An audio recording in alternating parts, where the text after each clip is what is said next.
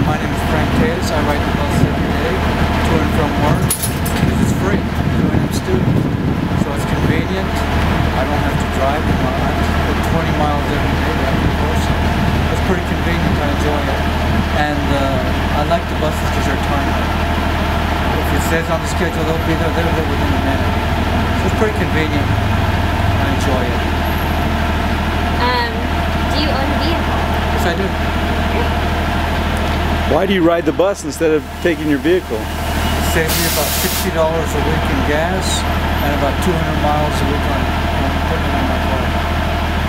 So it's pretty convenient. I enjoy it.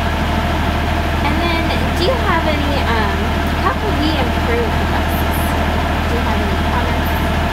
Um, one or two, you're, like the afternoon Menaul bus, it's always packed. I don't know if they need another bus, a bigger bus, but other than that, it's everything runs pretty well. Other than a couple of times it's been full and I haven't been able to get on it.